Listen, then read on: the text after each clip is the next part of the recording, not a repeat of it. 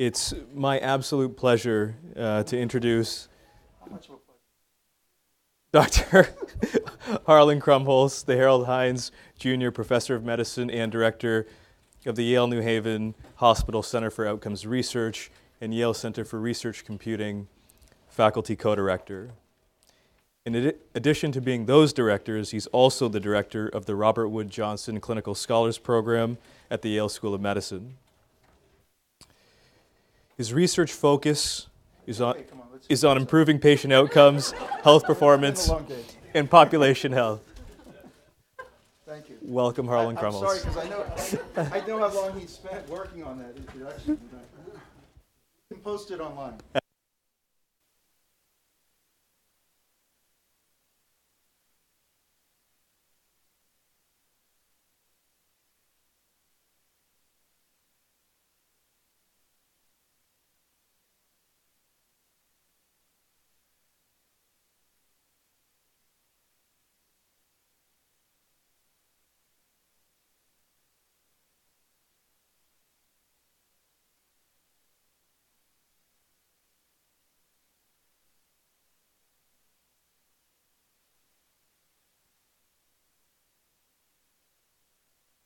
Really create the change for, for society and science. So, and, and also to do it so generously, right? So everything you heard from Brian is about, uh, you know, this is whiteboarded. I mean, you can put your own insignia on. You can put this. I mean, it's not about what he's doing for promoting himself or his center, but it's about creating the capabilities. And then, and, you know, then Aaron comes along and, uh, you know, I, I just uh, have never seen so much uh, really courage and uh, in someone of that position because it's easy uh, when you've got tenure or it's easy at some points in your career where you're in a secure position to be espousing what are the right things to do. It's another thing when you are in exactly the position that makes it difficult to do the right thing because all the forces around you are telling you you're not going to get credit, uh, you know, because this is about your credit. This is a time of your life to be selfish. This is a time of life you've got to worry about yourself in terms of what you're going to be credited with because that's the way the career path goes. And to, you know, to have that voice, I, I think that's what makes your voice so powerful because it shames us all, really, in a way, because it makes us realize, like, well, what have we created as an ecosystem that, that says to people that they have to worry that if they do the right thing for society, they do the right thing in thinking about where science needs to go, that they potentially jeopardize uh, their own positions. And instead of thinking, again, uh, generously, that if we all work together in common cause, uh, that and, and our contributions, yeah, there will need to be some understanding of what those contributions are, but we don't have to feel that uh, we have to hold tight our data and our work and, and do it to the detriment of the progress that needs to be made as a society. So I, I just salute you for, for all of that, and uh, I think that it, it's humbling. And then, of course, my co co director, uh, Daisuke, showing uh, all these amazing things about the universe. And you know, I, I, I want to be an astrophysicist because it just I just want to be able to show that stuff and say, you see this box here? This box represents the whole universe. And, and then this is what it was, and then these clumps, you see, that's what the universe is now. It's like, I, some, when I come in my second life, I want to come back if I had the ability to be able to do that. But so this talk is a, a, a sort of a basic orientation to at least what some of what my own journey was and what I think is important as we think about this issue of data sharing. And I'd like to enlist your thinking about how do we actually uh, uh, achieve what, what we want. Now, I, I do want to, uh, I have some potential conflicts. Are we posting these slides? No, but I, we'll post them somewhere. You know, this is where a thing like you go like this. And I have some potential conflicts of interest. So then, so these are the grants, and uh, there's some. I'm on a scientific advisor for UnitedHealthcare, and I founded a company that's trying to enable people to acquire their health-related data and to move it. And we'll put this up somewhere for people to see. But uh, I, I want to just get to some terminology because people get a little confused when we're talking about these issues. And I'm just very. This is just very simple and basic. That's that's the only way I can really understand it, which is we're often talking about reporting. When we're talking about reporting, the question is you've done something, have you told anybody about it? In the one situation I'm most interested in, I'm, as a, I'm a cardiologist, I'm a physician, is somebody's performed experiments on people. Have they told anyone what they found? So there's this issue of selective reporting, but there's also an issue of who paid for it and was there any return on that. But then there's the most important issue, which is you put some people at risk or involve them, and have you told? This is the very basic thing. Has anyone just know what you did? Then the publication is sort of the next level. Is it available anywhere more broadly? Has been subjected to peer review, and I think peer, preprints are a form of peer review also. I mean, has it been? Is it out there? And then there's this issue of sharing, which is, are you willing to let people take a look at the data and come to their own conclusions? And then Brian's bringing up this other issue, which I think is really important that I've never even listed on my slide because it's for us it's always been so far along. But it, it's really, are you willing to share the workflow, the underlying stuff that led to the data that you're sharing? So, for example, in our field, you know, there may be that there's raw data that needs to be adjudicated that ends up in being one of the data fields in the final data set, but there's, there's work underneath that that actually might, you know, be somewhat discretionary. It might not be just black and white, and, and that often is beyond the view. Now, sometimes the FDA or others get that data, and, through, and I'm going to talk about some of that uh, through litigation, but, but that's also another tier here, which is, is that in? So my own journey about this began when I got involved in the Vioxx litigation. I have to admit, I was like totally oblivious to what was going on with Vioxx. And some lawyers showed up to talk to me, and, and I'd never been involved in any legal cases before. And at first it was like, you know, I really am not that interested in talking about this issue, and, and I was busy enough, and, and it didn't seem like, you know, it was going to be worth it. So I, let's take this off. So, um, but then they start prevailing. They, they, what they convinced me about, you know, this thing doesn't come off. You ever make a fool of yourself when you're in front of all these people? All right, this thing's just going to go like that. so, so they, they, what they started, the reason they prevailed on me, so the issue was Vioxx was a drug that was to treat, uh, it was like, it was a second generation non-steroidal. It's COX-2 inhibitor. It's like uh, Celebrex, Vioxx. These were drugs that were meant to be safer on the stomach and to have the same benefit for, for example, joint pain. And um, the thing was, they, they told me that what they had were all the internal emails and communications and data that was available within Merck that had never been shared externally. And all of a sudden, I mean, I never really even thought about it before, but it, it, kind of got me interested. And I said, well, I'll get involved if you promise me everything I touch can go into the public domain because I don't think that there's a wide appreciation about the way science is conducted, and, and I think that there'd be something to learn here. So I decided to get involved with this for that reason. And, um, and then, you know, we started seeing emails like this. I'll read it to you because I know you can't quite see it. But, but this email says memo re- regarding changes to the Laine manuscript. By the way, this guy's a faculty member here now but he was at UCLA then. But it, this is Merck discussing this guy's manuscript. And I'm okay with the first two points. However, for point three, we can either say this is 52% or 52% and give the numbers that you have in the table. It's a matter of emphasis.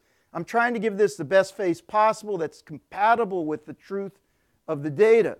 Now, I, I, let's, let's give them the benefit of the doubt. I'm not saying they were, they were going to lie or I'm not saying that they were going to corrupt the data, but this is a very important exchange because it reveals something uh, that's actually, I believe, universal. I'm trying to give this the best pace possible that's compatible with the truth, quote unquote, of the data. And I, I was telling Brian when we were meeting before, when I first started on Vioxx, I started, I, I was really starting to get upset with industry. I said, well, God, this is an industry issue. But the deeper I got into it, I realized that this is a cultural issue within science. These people were sure they knew what the truth was and were trying to understand how they could best present their data to be compatible with that truth. One can emphasize what one wants. It's not clear from a clinical perspective what any of this means for erosions. These are the ulcers in the stomach. So why not try for somewhat better appearing message? And for point two, as Ned and I were in agreement, I would push back on this one. I'm, I'm surprised that GI adverse events in a three month trial would not be of interest to practicing gastroenterologists. Why not try to take that out? But I'm actually not using this to impugn Merck or even this faculty member who was taped to say, I'm glad to say whatever, you know, I said whatever Merck would say. He was caught off camera saying that. But the, what I'm saying is this is a universal truth within science. People have strong feelings about what they want. They're trying to be compatible with the truth, but there are multiple interpretations. And what I was sort of discovering was that these guys were, were just articulating. We were able to see sort of emails that you wouldn't normally see. And then you would see emails like this. They're talking about an, an adjudication and a protocol. So they're getting the records and they're looking at them. In this case, they were sort of unblinded actually to the results. And they said, at this point, I think it's too late to reverse what's been done. Deborah said to, that you told her to count this as an MI. I don't think the adjudication committee would have counted this as an MI. Blah, blah, blah. I would prefer unknown cause of death so that we don't raise concerns.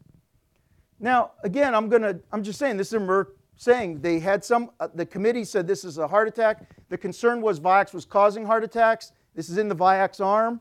They're saying, like, you know, maybe we should call it unknown. It's a little bit on the edge here of what it is. Assume for a minute they're right or wrong. I'm just showing you that there's tremendous amount of discretion at various points.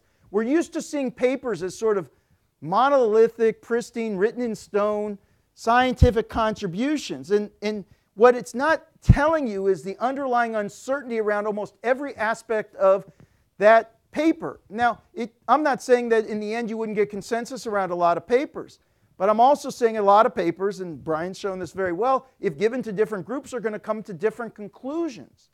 In some ways, predicated on their own cognitive bias, their own beliefs. And, it, and it's not an, an evil, not evil situation. I mean, in this case, the cognitive bias can be strong because there's also a strong profit motive. But it's not just the profit motive. You're not going to get promoted at that time in Merck for raising questions about a, a, a $10 billion a year drug. You know, you're not going to, uh, or, or 10 billion over five years, drug. You're not going to get into trouble. Uh, you're, to get, you're not going to get promoted for that. In the same way, I'm not going to get promoted in an academic institution if I start writing papers that impugn my great theory for which I'm famous for and start saying, you know, all that stuff I've been saying for the last five years, I actually think it's not true.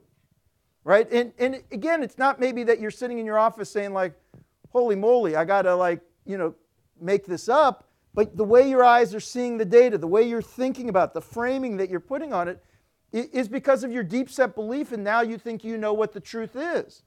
And so you're interpreting it in that way.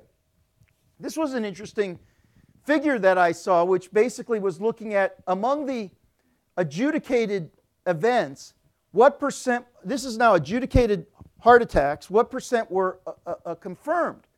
And it turned out that uh, um, they confirmed, all things being equal, you would think they'd be confirmed equally likely in the Vioxx and the placebo group.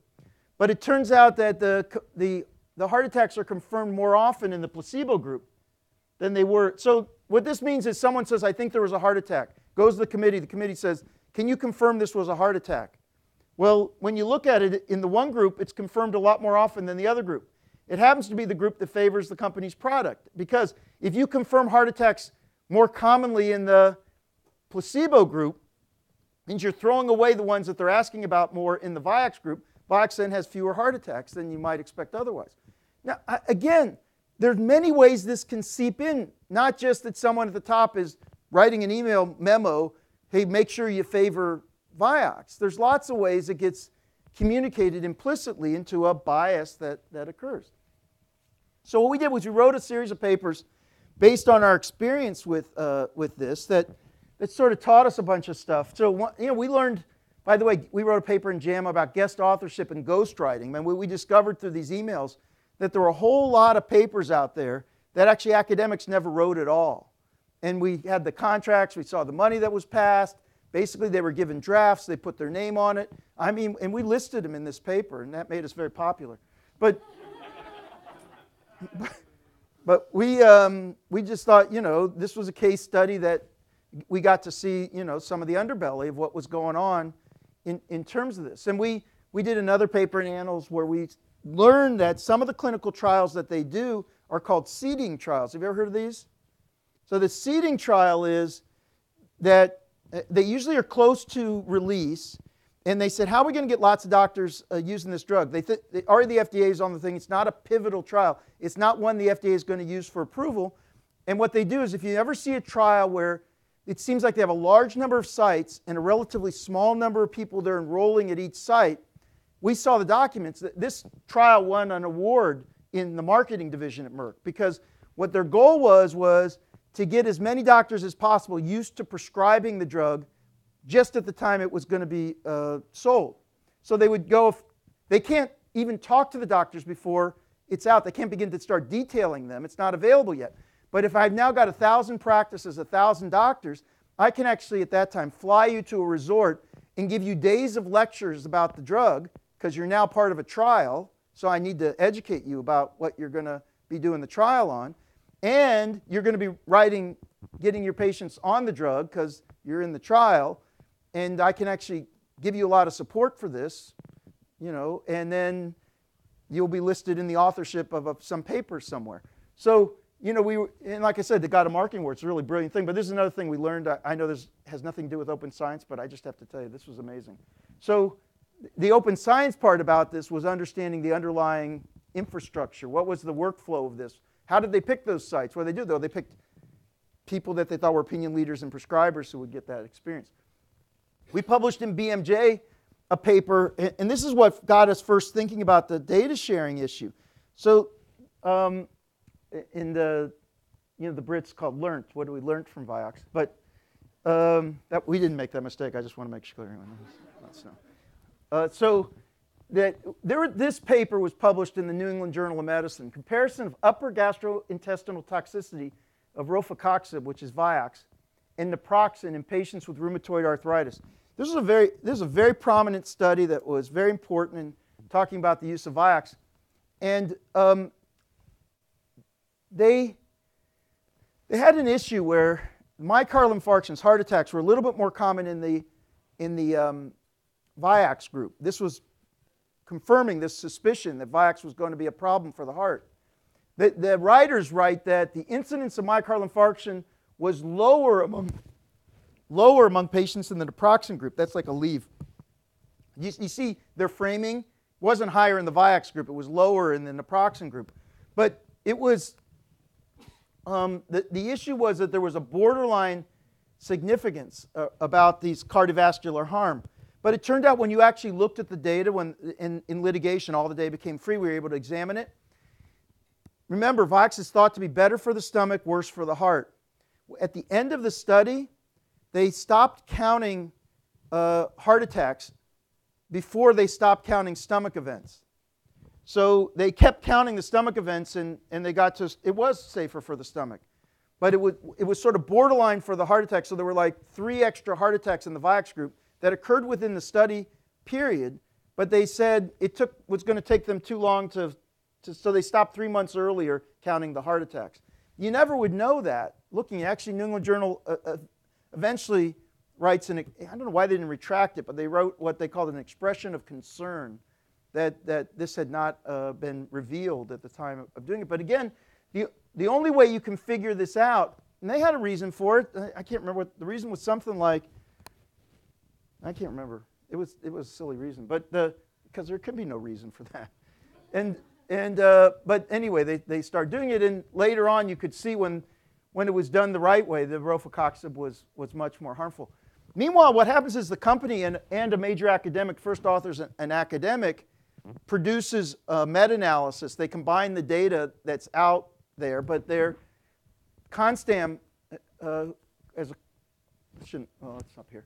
So uh, is the first author. There, everyone else basically pulled is from Merck, and they pulled the the meta-analysis together, and um, we can see from the emails they're the ones really putting it together. Marv does edit it, He's a responsible person. I think this is just what he saw. But they, they're selective in the trials that they do. Not all the trials were being reported. So they were able to say, here are the main trials you should be looking at for the meta analysis. It just wasn't that way. And they end up saying, when you compare Vioxx, rofecoxib to placebo, there's no, in fact, if anything, there might be a decreased risk. That's, that's the one. But they cherry picked the studies. So we uh, actually did a pooled analysis. Once we finished with the trial, we had the judge give us all the data on all the trials. And most of these had never been seen before because it had never been published. They, they had just put out the pivotal stuff, and I, this is where I did my friend Joe Ross. Joe was a fellow at this time, and um, we identified 30 randomized placebo-controlled trials with 20,000 subjects, 15 from osteoarthritis, six from rheumatoid arthritis, three Alzheimer's, six others. Most of them were pretty short. Um, 18 were published uh, of the 30 before withdraw- with the Vioxx withdrawal. So we start um, we start looking at them, and we did this is a cumulative meta-analysis. So we sort of start adding up, you know, what happens if you bring in the each trial given when it was finished. And you can see when you first start, you know, you've only got one trial that there's a 30% increase in risk, but it's not significant. And you start adding up. By the time you get to 2000, you've got about a 2x increase in risk, and it's 07. Um, by at, this is about the time that Vigor trial comes out. That other one comes out where the relative risk was 5, and you start adding, by 2001, you've got a significant result in 1.35. Now, you've done, I don't know whether a p-value, what it means at this point, but the point is that there's a, there's a, there's an indication that there's a possibility that there's a risk that's becoming strong. The drug doesn't get withdrawn until 2004, but the public dialogue at this point is this is an absolutely safe drug. And their own meta-analysis is suggesting, if anything, it could be protective. And again, I'm not, I don't want to impugn the professional, I don't want to improve, impugn my colleague Marv Konstam. I'm telling you that people start looking at it in a certain frame. I think the Merck people, many of them good people, you know, are thinking about this is no way this is a problem, or there somehow there's a cognitive dissonance. I got to be very careful around Brian's using any of these psychology words, but he's kind enough not to correct me. But there's there's uh, there, there's something going on here that's leading to by the by the time you got to when the drug was withdrawn, I mean, the signal's just getting stronger anyway as more cases are accumulating. But, but this is what kind of got our group motivated in thinking that we've got a problem in the scientific enterprise. This lack of transparency, the, the, the, the unwillingness to admit that whoever's doing the study might not be have this sort of a, the corner on the interpretation of that study, that there may be more than one way to look at things and more than one way to interpret them, got us thinking that we've got a big problem here, and this affects people's lives. I'm just going to say there were other studies like this where this was an RCT of celecoxib. I, am sort of on the coxibs right now, but uh, that led to this study that was in JAMA that, that concluded that um, it, it was much lower incidence of ulcers, main outcome incidence of prospectively devi- defined symptomatic upper GI ulcers and ulcer complications and other things. Uh, during the, this was their main outcome. We're better with, with, uh, with Celebrex. So this is what they showed in the JAMA paper. Look how much better Celebrex is. That's amazing. But it turned out they actually had the 12-month data too. And, oh, what happened to it? And the 12-month data that looks a lot less impressive. But, but they just had decided, why show a year? We got six months. You know, it's uh, so, but, but again, this is about like this stuff can't happen if we're starting to share data. It's out there. I mean, there's not, nothing in it that's for anyone who's going to try to do it. And if someone did feel like six months was somehow telling you something important, let them make the case. But, but these are the kind of things that's come out. You may have seen this one more recently with Paxil. This was a study that was uh, uh, published more than a decade ago that was suggesting that Paxil was more effective in, in, um, uh, in reducing depressive symptoms. And they reported side effects, but they were basically saying uh, serious side effects occurred in 11 uh, in, in the Paxil group, in imipramine group 5, and 2 in the placebo group. But, but then there's this effort to say, let's, let's really take a second look at some of these trials. Recently, the BMJ publishes this thing, Restoring Study 329, Efficacy and Harms of uh, and Imipramine uh, in Treatment of Major Depression in Adolescents. This study uh, ends up saying efficacy reanalysis, according to the way that they did it, doesn't look like it's any better, but it does look like it's associated with uh, suicidal and self-injury events. There's a lot of concern now that people were being prescribed Paxil, especially adolescents, to try to treat depression, but actually was raising the risk of suicidality. The, the, the point I'm making, and I don't want to get into the details of how this is, but it's just the point that different groups can see the same data, even trial data. What, I, what I've learned to discover is that people have this idea that it's so formula, formulaic in a trial that any you can give anyone the same data and they're going to come up with the same answer. And any any questioning of that is again sort of criticizing the integrity of the investigators. And I'm trying to take all that out. I am not criticizing either those early or the late. I'm just suggesting the possibility that even well-intentioned people will come to different conclusions. And again, this is the what Brian's showing time and time again now in the reproducibility studies. You don't have to think that it's about bad actors. I think the moment you worry about bad actors is when you begin to trivialize this problem. Because then it just becomes about the people who don't have good morals, the people who are, are just seeking their own self benefit. And if we can just identify those people and, and get them out, because it mean, it's just like racism. It's just like racism, I guess, which is like, it, you know, let's get rid of the personalized racism, but we neglect the structural racism. You know, it's just like saying, because it can't be me. I can't be caught up in this because I'm not like that. And just like racism, I'm not like that. But the truth is, we're talking about something that pervades the human experience, this cognitive bias in this case. The way in which people think about race and differences and tribalism in another case. You know, the, these are things that we have to begin to say are not sequestered to a few bad actors but in fact are affecting the entire scientific enterprise.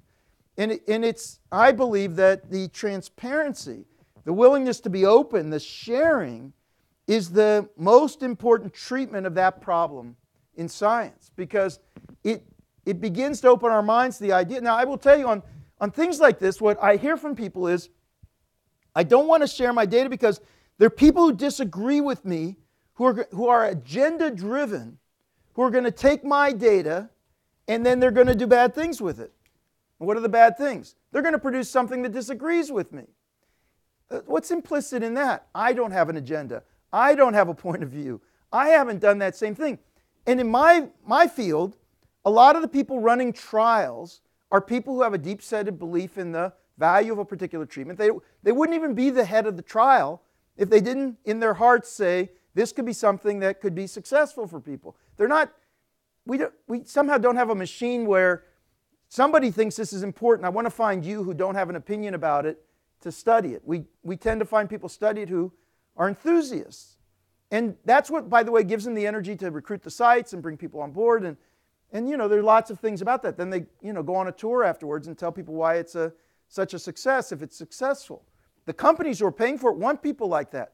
Not necessarily because they want people who are going to corrupt the trial, but they want someone who can cheerlead if this thing's positive. They want opinion leaders. They want people who actually are excited about this idea because they want the translation if they get the positive effect. But, but what we have to begin to realize is we all have agendas. We all are, have a certain frames that in which we approach this, and we all need to find ways that are going to help us get to the right answer, what that truth might be, or the understanding that truth may be murkier than we would like to believe. Um, so, you know, we begin to look at this selective publication issue. I'm going to now uh, uh, uh, just pivot back to the reporting issue, for example, because I'm talking about data sharing. I actually, as I think about it, uh, I should have gotten to this part first because even before you get to data sharing, the question is are you telling anybody what you found? Because for people who are non scientists, this becomes important because if I'm the most conscientious physician and when you come and see me I, and you've got a problem, what I'm going to do is make sure I scour the literature to understand what's, what's good and bad about particular strategies for you. If people have systematically not put information in the literature, I'm going to have a biased view of what, what's known, right? Because what, there, a lot of what's known to some people is not being aired generally. And so I'm in a position of weakness with regard to being able to understand that. People have been talking about this for a while. I don't know, for a while in my field. It's 1990, but uh, Iain Chalmers starts writing about this issue about underreporting research. I'm, i think I'm going to go. Uh, this is so one of the one of the ways that we sort of developed to try to uh, at least even understand this problem was we started asking people, requiring people to register their, their trials they wanted to get published in a, particularly a high impact journal, you have to have been registered. So we could start to look at what percent of those that are registered and, and, and document it as completed. Let me just say that a lot of people will register. Who the heck knows if they complete it? They, they actually don't say. So assume that some of the people who never fill out that they completed the study actually did complete it. But, but if you're not going to publish it, I mean, they didn't go back on to clinicaltrials.gov to do that. This is what always amazes me. The people who actually took the time to go back on to clinicaltrials.gov and document that it's completed is a subset, right? A, you've shrunk the denominator because the, I mean, the most egregious thing is I've done this experiment and I, am just done. Like, I, why am I even going to go back on the registration site to say that it was finished? I mean, I don't even know why people do that if they're not going to try to do something with it. But if you look at the completed, your, your rates of like 40%, NIH, it was low. We started producing these curves. We, you know, we published this in BMJ. Percentage of studies published, time from study completion. You know, we're sort of topping out here at about 65%. But, but the other thing is time. We started realizing, realizing about the scientific lit, uh, enterprise. This again gets to Brian's talk about preprints. So if you've got, if you've done an experiment, tell me how important it is if you don't care it takes two years to actually get it published from the time, the time you're done. I mean, if, if you don't feel any time urgency, I don't know, like how important is the finding?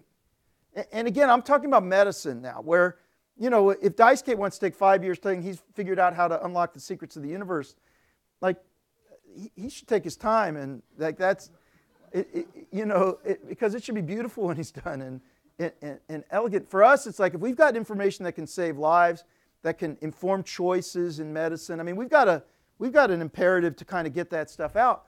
But but look where you are here. I mean, this is 20 months, and you know we're under 30 percent. You know, 40 months.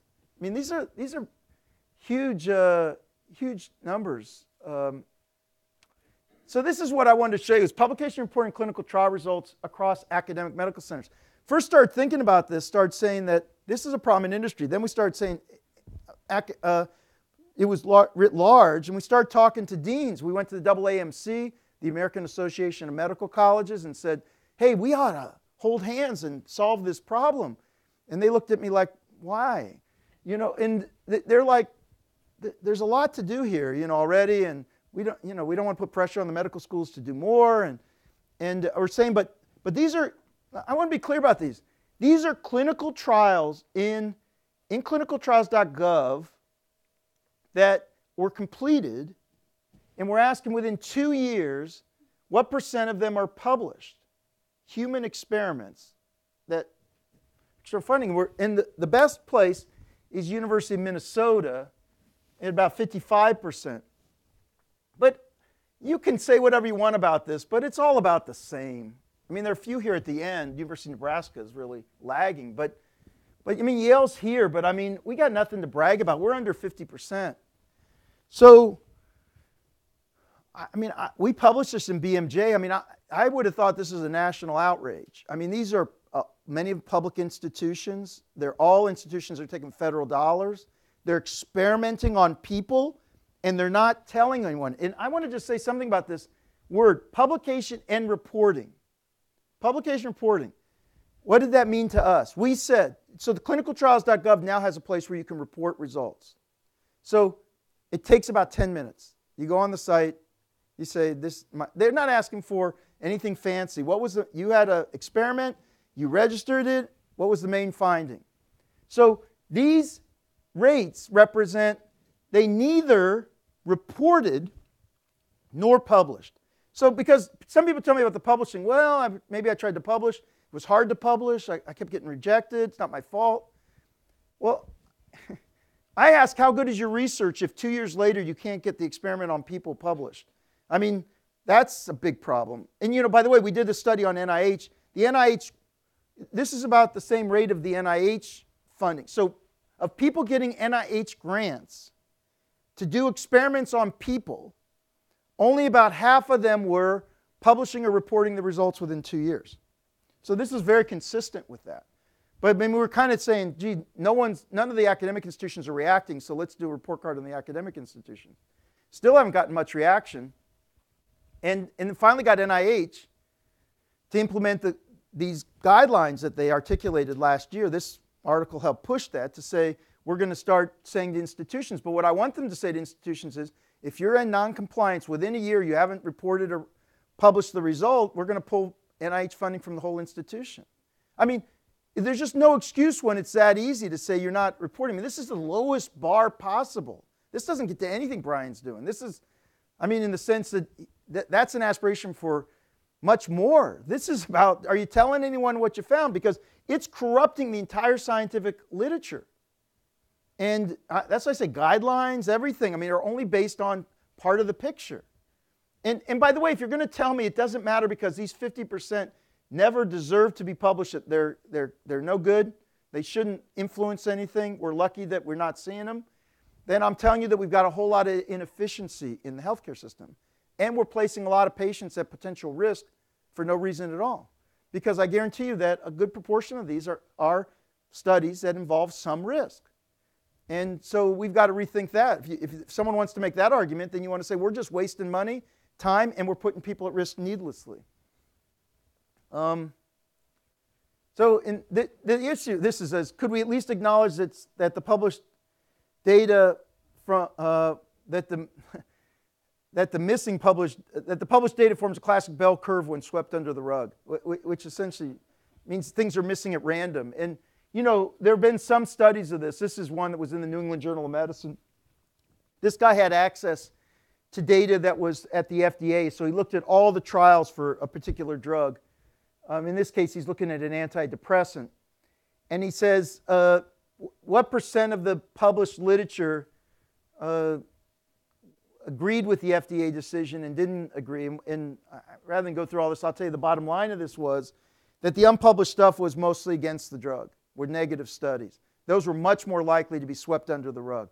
So the, the premise of this article was it's not missing at random. The, the stuff that's missing is directional. And that's why we've got a bias. And it makes sense, but he, he had access to all of the data. You've seen this Turner article, I'm sure, many times. It's like you know, it's just he had access to that. But every time we've seen this, and it makes sense. Well, I mean, it's not going to be missing by you know at random. It's missing in a directional way. Um, I'm just going to go through sort of what happened with clinicaltrials.gov, but I, I just kind of want to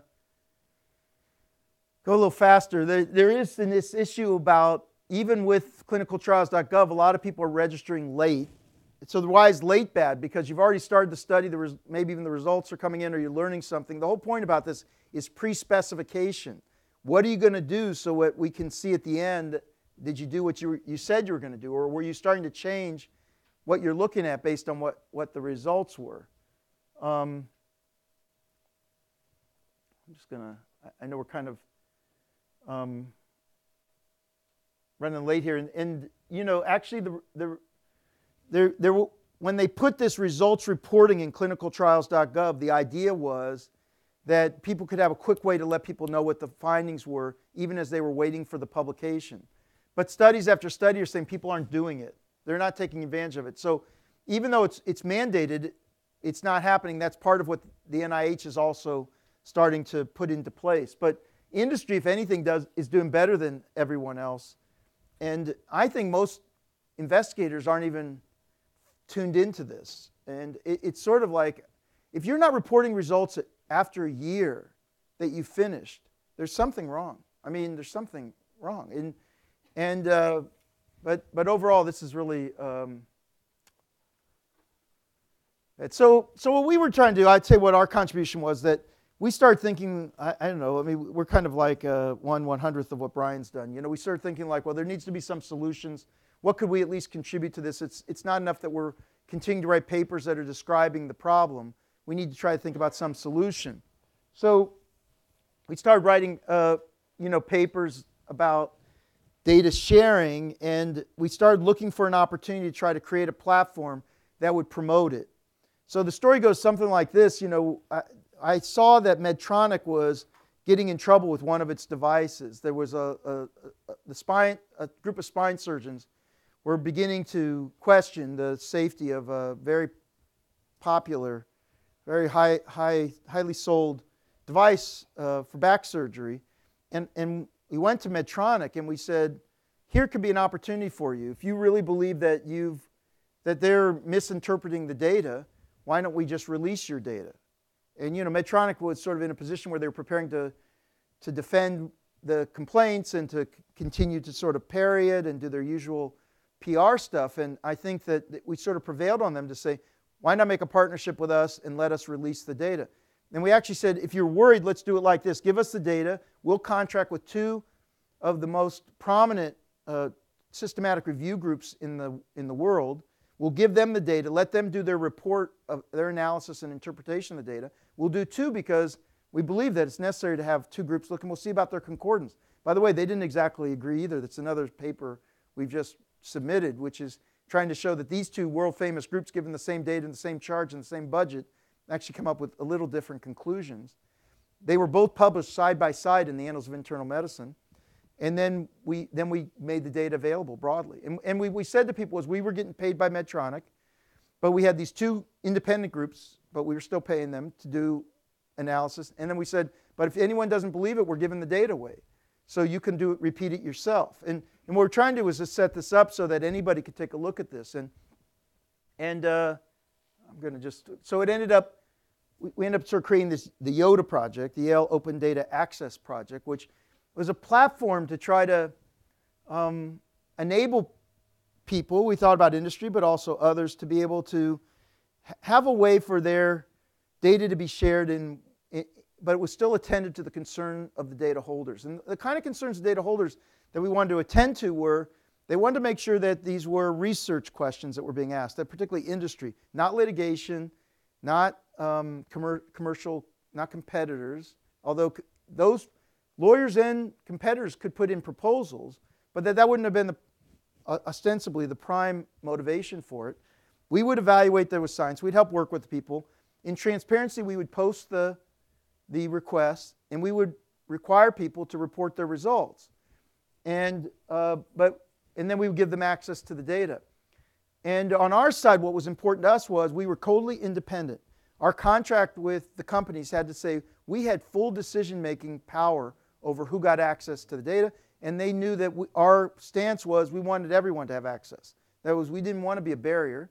And so actually, we haven't denied anyone. There have been a few that we passed back because we said, this is an inco- it's a difficult to understand proposal, and you need to work on a little bit, but not because we were judging the science to be bad as much as they were having trouble articulating exactly even what they were doing. So we, we need, we were willing to work with them, but we were trying to help them to figure out what it was that they wanted to do. But so we created this as, as a way. We start with, with Medtronic. Medtronic actually peels off it after two years, but we were able to enlist Johnson and Johnson. And Johnson Johnson basically told us they were committed to sharing all their trials. They're the largest uh, drug and device company in the world. All of their uh, drug uh, trials, all of their device trials, which was unprecedented, and actually their consumer products. So um, Tylenol, Listerine, anything you're interested in. And we have 180 of the trials now on the Yale site. And actually, uh, for anyone listening, I've always felt that at Yale, it's an underutilized resource. We have 180 trials that anybody here could request access to to answer a scientific question. And uh, then you would get, it's in, held in a SAS enclave but you'd be given permission to use it. We have the metadata about the trials, and uh, they're the data is de-identified, and anyone can uh, can make use of it. And we um, there have been many groups that have looked at this. Let's see, I wanted to. So, and since we've started doing this, a lot of the other places have have start. The industry's been way ahead of academics in doing this.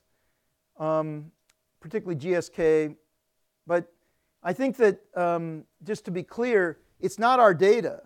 So we're an independent third party without interest, removing perception of influence over access. We have full jurisdiction to make the decisions, and, and we actually used public comment to form our approach. We wanted to see what people said, what they thought was going to be important. If you go on our site, you'll see categories of trials. You can go into any of them, there's a lot of information about it and then you, you, we, we try to approve requests as quickly as we can. And um, all we ask investigator name, affiliation, co investigators. research proposal, including background, study design, main outcome, statistical analysis plan, and a COI statement. But all of it's for really transparency and disclosure. And we don't dig deep to start to, it's not an NIH application where we're trying to re- reject anyone. We're just trying to, to do this. And once they're approved, people sign a DUA. Like I said, they gain access via mainframe, and uh, it just basically prevents distribution and makes sure that we're protecting patient privacy. The number of requests has been relatively modest. I mean, we're out here and we have had 55 requests total.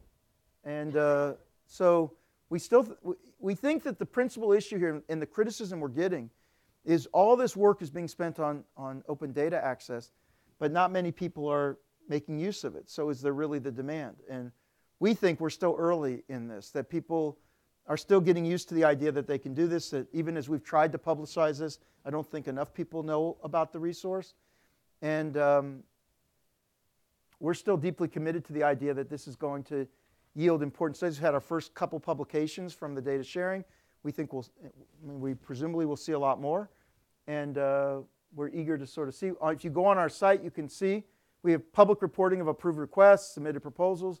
This is interesting. Some of the investigators have been concerned that we're sharing their request, that this is, they've got the secret to the universe, which they should share with Daisuke, but the, they, that, you know, and that this is somehow preempting their, their work. You know, we believe that, again, this is an opportunity for people to maybe to collaborate and, and uh, to see what's going on. We do try to respect uh, concerns, but we tell them we think we need, we need to go. And uh, so our goals, I think, going forward to facilitate greater access to clinical trial data, increase transparency while accelerating generation of new knowledge, and at the same time promoting responsible conduct of research. Our whole thing about getting people to fill it out and post it, we believe strongly in this idea of pre-specification. Even if you're doing exploratory analysis, this is a point I brought up earlier, it's okay to do exploratory analysis. Just say that's what you're doing. And so we think we can contribute to that. The whole goal is better inform patients, clinicians, and industry, so decisions can be based on the most comprehensive and contemporary evidence available relevant to benefits and harms of therapy. People can now go on our site and see all the trials that Johnson & Johnson did, published or unpublished, They'll, that you can see them. And people can make the choices for themselves. So uh, we, we like the Yoda theme, you know, try not, do or do not, there's no try. The, I think the, the point, I don't understand what that means, but the, but, but the point is, I think for us in academia, the responsibility is not just to describe problems, but try to solve problems. And in this case, if we think that there are, are approaches, we should experiment, we should try them. And one of my hopes, uh, I think, is that at Yale, we can begin to get more of the faculty interested in trying to set an example about what uh, good science looks like. Not just good science in terms of publication in high profile places and lots of publicity, but good science in terms of the way it's done, the, the, the workings, how we teach our students about what that is, what's the ethos that we have, and, and how we can uh, reflect a lot more people like Aaron who maybe are going to say that this is about a social good and that we need to have a, a, a sort of spirit here that we're trying to be open and transparent and we want others to join us and, and we think that's in everyone's best interest. So thank you very much.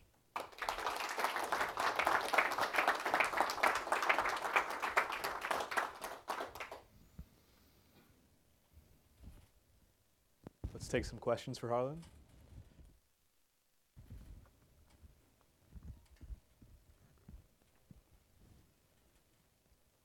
Thank you. Uh, just a quick question. Do you uh, do you see the setup you have right now for Yoda as eventually being um, unnecessary? So is there going to be a point where the data could just be released, um, or do you foresee always having uh, an intermediary, someone who makes an approved? I think it's a really good question. I, we, we have, I think, taken the position that we should not be thinking about our self perpetuation as being one of our goals. Now, but we, we do think we still fill an important purpose. And the, the question will be whether this will all come together because what people actually want to do is be able to combine trials across companies too.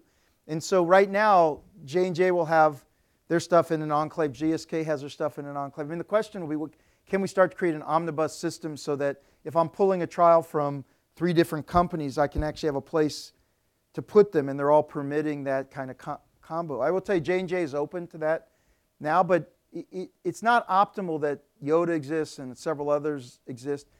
What we do think that the independence is important, and when the companies are kind of hiring the people and they're their consultants who are deciding who gets access, that's not ideal. We have requested data from some of the others, and it's a more cumbersome process than what we've got. And I think if we if they can move in that direction and academia can move, maybe we can find some other form. Maybe Yoda goes away and it you know it's not it's not our vision that it has to be the solution. What we were trying to do is say that there are certain properties of what Yoda has that whatever the fi- you know we get to finally should probably be part of that process. We're happy to serve the purpose, but again, you know, being in the in an institution, um, we've also got some limitations as well. Maybe that maybe it should you know become part of the Center for Open Science or something. I mean, maybe there's another place where it ultimately sits that becomes kind of an independent place for it. I don't know.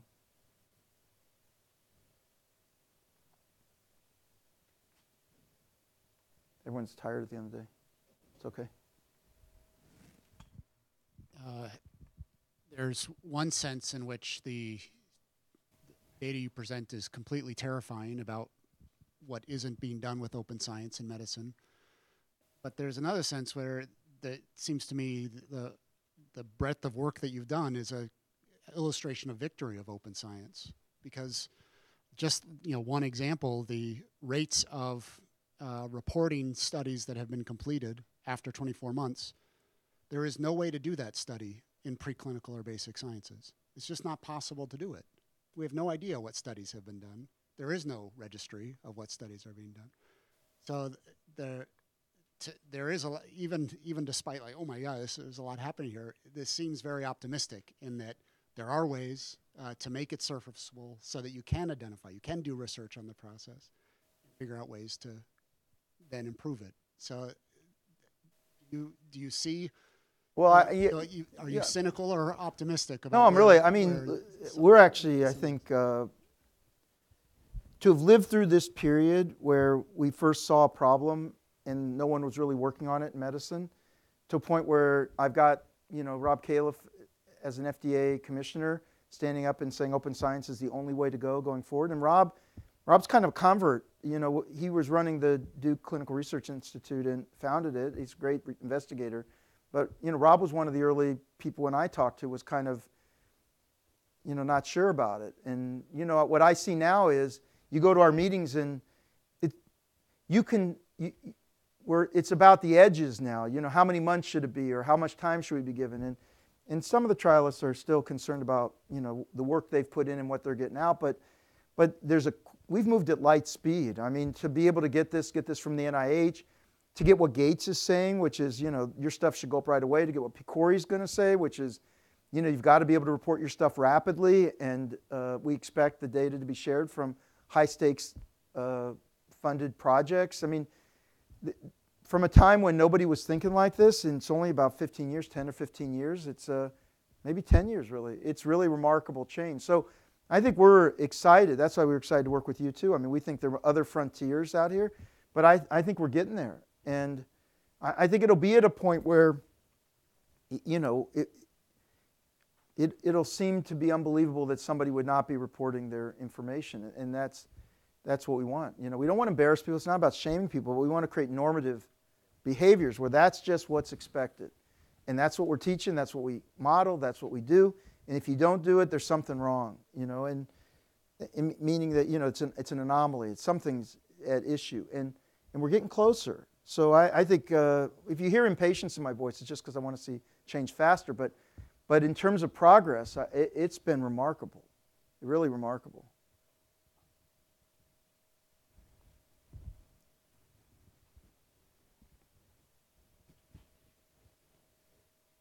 Thanks. Um, I have a, a comment about some of the non reproducible uh, results in clinical trials, uh, many psychological psychology experiments too.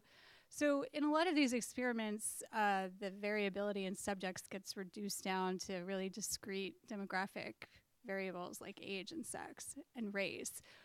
But human biology and personality is much more complex than that. So, in, in some sense, uh, even if you are perfectly replicating results and uh, you, you have appropriate power based on the variability that you're modeling for, you expect that there's m- maybe just a ton more random error in subjects. And so if you accept that, uh, we really have to replicate studies multiple times, uh, not to validate the results of one study, but because only through multiple replication could you ever come at some kind of consensus given variable outcomes that yes, this is a real effect or not. So there's still room, important room for open science and data sharing in all that, but more of an incentive actually for multiple labs to be replicating results and then come up with one consensus after those studies. Yeah, and I, I think our, our biggest challenge is the cost and time that's involved in doing any of the single studies. It's like, y- you know, it's a big mountain to climb. I- And the physicists, you know, the, they have the same issues. You know, that they can't create. You know, CERN will create something big in France. They can't create it all over the place, so they got to do it right. For us, though, there are all these different variables.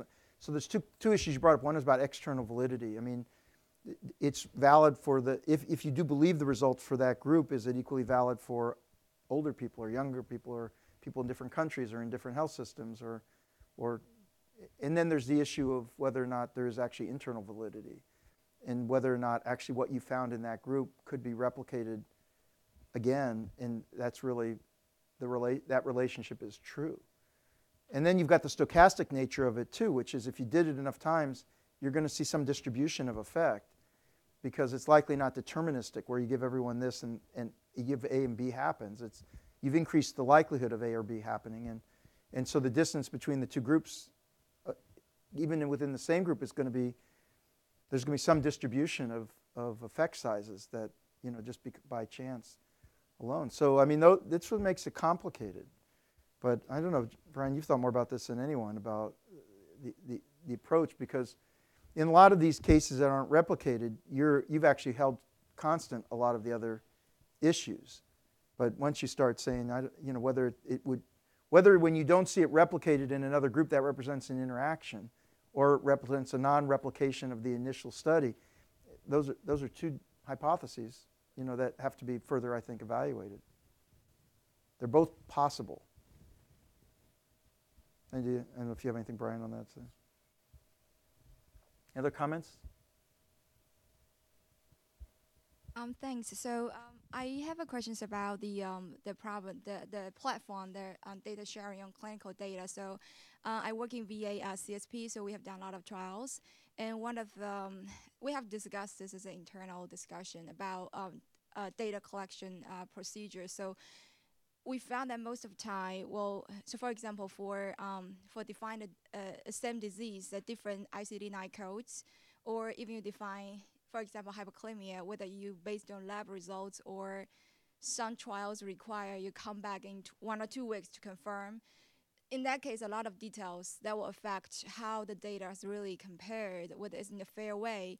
So I wonder when you have that data sharing uh, projects, do you have some um, plan to have so for example like protocols or operational manuals that for help people to really understand how the data is collected because Yeah, yeah. So this is an yeah. important point. Uh, first, it'll be great if the VA starts sharing data. You know, I don't. I, I I've talked to the top people at the VA, and, and they're philosophically aligned, but they don't share data. So that's an amazing thing. You know, the federal government pays for trials in the VA, and the VA doesn't share the data. Uh, you, they will say you can apply to work with VA investigators who did this study. By the way, this is another interesting thing, Brian. You know, a, a lot of the things people are saying is, well, if you want to do sharing, you must include the investigators from the original study on it. When one of the beliefs here is you need to separate from the, original investigators instead. And one of the things that, that I would hear a lot from established investigators were that no one could possibly use my trial because they could never understand the data like we do. And then I would say, but what about the documentation? They said, well, we made a lot of decisions that we never documented, and that no one would be able to understand all of the data definitions. And we basically just said, bingo, you just said why you've got to share data because you basically just said you're unauditable. I'm not saying VA, but I'm just saying, and, and no one at the VA told me that. I'm saying at other, other places when I've heard that, people have said that, and I said that without the self sort of uh, insight that what they've just said is actually something very terrible about the quality of the science. But, but uh, with regard to this, yeah, metadata has to accompany this. And the presumption is what, what our belief is going forward, if you knew your data was going to be shared, then you, would take even more care to make sure the manuals and the documentation and everything was very clear. When, when it's not going to be shared, you, it was interesting with J&J, they, they know this, it's not speaking out of school, but a lot of their trials were in very poor shape with regard to documentation. And same thing with Medtronics. A lot of the original time was spent going back and sort of retrofitting like the documentation, not, not for bias, but just definitions like pull they didn't even have the stuff at their fingertips. And what we're saying is good science should mean like immediately you've got all the data definitions, anyone on the team can get their hands on it. And if you were going to share, it's not a big deal to kind of pull this stuff together. But for some reason, we got into a habit where maybe because it was never being shared, was kind of like internally there was a lot of communication, but that people weren't keeping up the, the documentation in a way that would make it easy. But yeah, on our site and with J&J, we, we have to have all that metadata in order to make it meaningful. You can't just share the data. And that takes work, especially going back. What we want to see is going forward, people are anticipating this so that these standards, and this is another area to work on. Like, what are the standards of documentation that represent best practice for other people to be able to use what you've done or audit it? And uh, those, as far as I can see, are not codified completely. But uh, yeah, it's very important. And I look to the day when VA will share their data. well, I think that right now you can apply for the data, but the I think some of the projects projects I see, I think they have the um, Like Courage Trial, you can't get your hands on the Courage Trial. The investigator's holding it so tight. And if I'm being filmed, hi, I know all of you. You're holding it so tight. it's late. I want to thank you all.